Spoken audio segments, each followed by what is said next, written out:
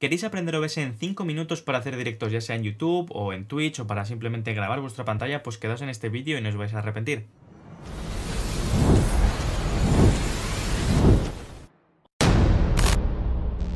OBS o una aplicación similar será una herramienta básica que deberemos conocer y aunque sean los, los pasos mínimos y los elementos mínimos para hacer directos debido a que cuando subimos un vídeo a YouTube nosotros tendremos un editor en el que podremos pues retocar, crear las escenas como queramos. Si nosotros queremos crear una escena como estáis viendo aquí en pantalla, que tengo pues la cámara, un poquito de, bueno, por allí tenemos pues las redes sociales, tengo el logo y aquí tengo una pantalla que estoy compartiendo. Si queremos hacer esto, nosotros necesitamos, como ya digo, una aplicación como OBS para que actúe de nuestro editor, donde vamos a poner todo eh, bien puesto de la forma que queremos elegir. En OBS vamos a aprender a utilizar todos estos sistemas, cómo funcionan, ya que todo esto funciona como estáis viendo abajo a la izquierda con escenas, que como veis tengo un montón de escenas y también tenemos las fuentes, solo que yo voy a llamar seguramente a lo largo del vídeo capas, que son los que nos va a permitir estructurar las cosas. Como veis tengo una capa de cámara, bueno es una carpeta, tengo Chrome 2, Chrome 1, porque son diferentes cosas, el micrófono y tengo las alertas, ¿vale? Vamos a aprender a poner todo esto en un momentito de una forma muy sencilla, como ya digo, vamos a intentar hacerlo en 5 minutos. Así que bueno, se me olvidó decir que vamos a ir directamente, ahora no me vais a ver por un rato, así que vamos a las escenas, tendríamos que fijarnos en este más que estáis viendo aquí abajo, le damos al más y creamos una escena nueva, yo ya la tengo creada, que se va a llamar tutorial de YouTube, así que ahora mismo no me vais a, no me vais a estar viendo. Vale, de inicio esto debería estar vacío, solo tendríais que tener vuestra escena nueva, que se va a llamar como queréis, yo como veis tengo muchas, y las fuentes van a estar vacíos. Entonces, si nos fijamos en ese símbolo más, aquí es donde se van a añadir las cosas. ¿Qué es lo primero que vamos a hacer? Pues vamos a añadir eh, nuestra webcam, ¿vale? Para que me veáis ahora mientras hablo. Para añadir nuestra webcam tendremos que ir a dispositivos de captura de vídeo y tendremos que añadir un dispositivo nuevo. En nuestro caso vamos a elegir uno ya existente y vamos a coger la GoPro que no es la GoPro. Si nos damos cuenta desde aquí podremos redimensionar la imagen a nuestro gusto y si le damos creo que era control podremos, no, shift puede ser, sí, si le damos a shift pues podemos deformar la imagen. Si le damos control Z, le damos atrás y revertimos los cambios que hemos hecho. Cuando creéis una escena nueva, ¿vale? No os va a salir así como os he hecho tan fácil, pero lo que os va a salir es cuando le demos a, algo nuevo o si queremos, por ejemplo, cambiar los ajustes, le damos clic derecho en propiedades y desde aquí os va a pedir el, paso previo que yo me he saltado por ser un, dispositivo existente es elegir qué es lo que queremos coger. En este caso, yo la capturadora que tengo se llama USB Video, pues es aquí y como veis tenemos la resolución, los FPS los tengo emparejados con la salida y demás, pero se hace de una forma muy sencilla y podemos ponerlo del tamaño ya os he dicho que queramos. Ahora os voy a enseñar qué es lo que tendríamos que hacer si queremos tener un marco como este. Vamos a saltar primero la escena para que os lo enseñe porque básicamente eh, este marco que como veis se mueve un poquito, si queremos ponerlo va a ser de una forma muy sencilla, aunque yo ahora mismo no lo voy a poner porque no sé dónde está en el ordenador y si tengo que ir a buscarlo va a ser un, va a ser un buen rato. Entonces, para añadir este tipo de cosas tendremos que distinguir si va a ser una fuente en movimiento como la que tenía o si va a ser una imagen. Si es una imagen fija y no queremos que haya problemas con el fondo, tiene que ser PNG, muy importante. Y si no, se tiene que añadir como algo multimedia. Pero como veis, volvemos a ir aquí al más y tenemos que darle a donde pone fuente multimedia. Entonces, donde pone fuente multimedia, bueno, mirad, yo ya lo tengo por aquí, vamos a darle marco animado, aquí está. Y aquí tenemos nuestro marco animado, nosotros tendremos que elegir la ruta, ¿vale? Que eso es lo que os he dicho que yo no me lo sé, pero lo tengo guardado en el OBS. Y aquí pues ya lo ajustamos, así deprisa y corriendo, mal puesto, pero bueno. Y tenemos nuestro marco animado cuadrado con la cámara. Si queremos, por ejemplo, ahora estamos en directo y queremos poner nuestras alertas, tenéis eh, un tutorial muy básico sobre cómo funciona Stream Elements en el canal porque es lo que yo voy a utilizar.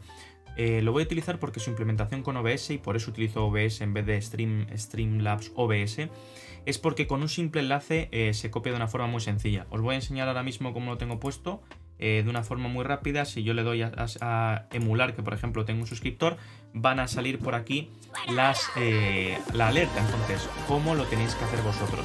Como ya explico en el vídeo de Stream Elements, que ya digo lo tenéis en el canal, de los últimos vídeos que he subido, eh, simplemente lo que tenéis que hacer es vosotros diseñar vuestra escena, que esta escena que yo tengo aquí está diseñada en Stream Elements, y tenemos que copiar el enlace. ¿Cómo se hace lo de copiar el enlace? Pues vámonos a nuestra, a nuestra escena de tutorial propiamente dicha, y nos tenemos que ir aquí al más y tenemos que añadir una fuente de navegador. Entonces, cuando añadimos una fuente de navegador, vamos a añadir una de todas las alertas que tengo. A ver, alerta chatting de YouTube, porque tengo muchas alertas. Aquí estoy. Si tiene fondo, como es el caso, lo vamos a tener que poner atrás. Por lo tanto, estáis viendo que ya tengo una cosa muy parecida. ¿Y cómo funciona esto? Pues vamos a darle a propiedades para que veáis. Aquí nosotros tenemos que copiar el enlace de nuestra alerta, ¿vale? Y copiamos el enlace de nuestra alerta y le tenemos que poner el tamaño en concreto. Con hacer eso eh, no va a haber ningún problema y vamos a tener las alertas configuradas que tenemos que tener configurado en nuestro programa de alertas favorito, que como ya digo en mi caso es Stream Elements. Ahora ya vamos a entrar con, eh, con los ajustes y esas cosas que son un poquito más complicadas, pero antes de nada voy a enseñaros dos formas de que pongáis vuestro micrófono, porque ahora mismo me estáis escuchando porque yo estoy grabando en OBS desde otra escena, pero ahora mismo no estaréis transmitiendo sonido. ¿Cómo podemos hacerlo? Dos formas muy sencillas. Si vamos aquí a fuentes, vamos a dispositivo de captura de entrada de audio y como siempre creamos uno nuevo y elegimos nuestro dispositivo. En mi caso yo tengo aquí Wave Mic y le damos y como veis ya tengo ahí ajustado, se está moviendo con mi voz, eso significa que lo estoy capturando. Si vamos a propiedades, como todas las ventanas, de una forma muy sencilla, lo que tenemos que hacer es simplemente elegir el dispositivo. Y ahora os voy a enseñar la otra forma de capturarlo. ¿Cuál sería la otra forma? Pues vale, la otra forma sería yendo a ajustes, que ahora os, enseñe, ahora os enseñaré más ajustes. Pensad que no sería que los ajustes, nos vamos a ajustes, audio, y donde tenemos el micrófono auxiliar, aquí deberemos elegir nuestro micrófono de elección eh, que queramos elegir. Como yo ya lo he puesto aquí, pues ya se estaría capturando, pero es otra forma de, hacerlo, depende de, de cuál os guste más. Si queréis poner más entradas, lo mejor sería seguramente hacerlo desde allí.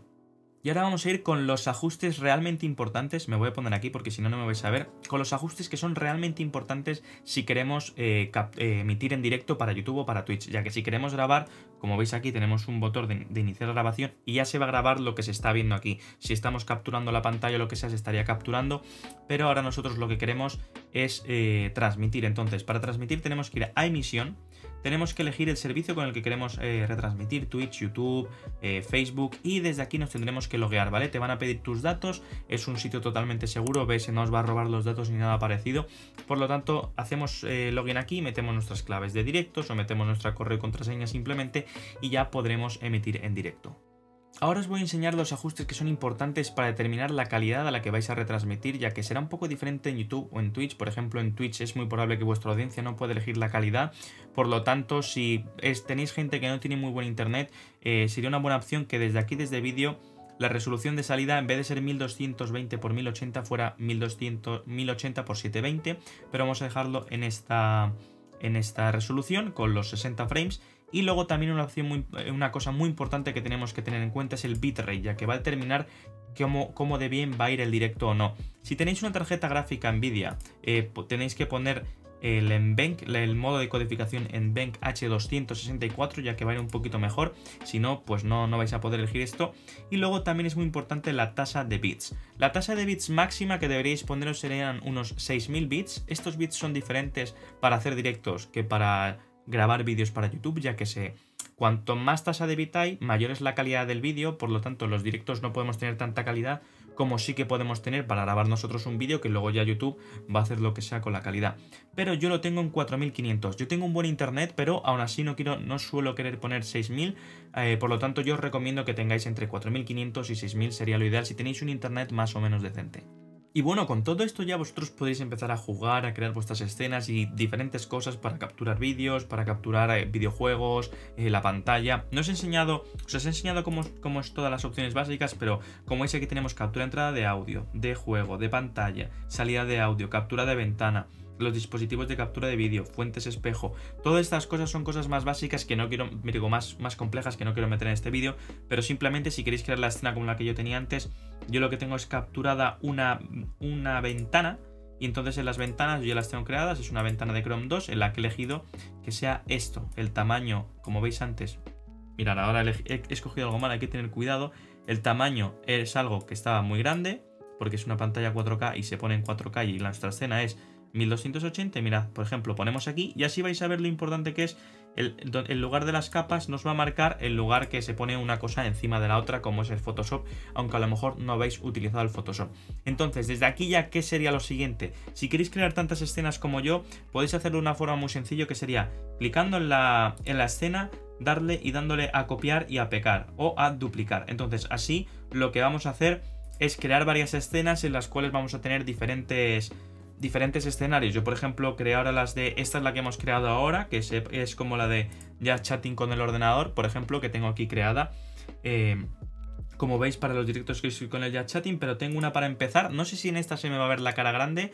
O como veis, esta es lo que veis cuando voy a empezar un directo, que pone que empiezo en dos minutos y que estoy avisando o, por ejemplo, os puedo poner la escena que tengo, las, las antiguas intermisora eh, la intermisión de capturadora de YouTube, en la cual pues la escena era diferente. Así que nada, espero que os haya gustado el vídeo, espero haberlo hecho en 5 minutos, como mucho en 6, porque creo que os he enseñado a hacer todo de la forma más rápida posible y más detallada. Así que nada, si os ha gustado el vídeo, como siempre digo, darle like, suscribiros para más y nos vemos en el siguiente vídeo. Hasta la próxima.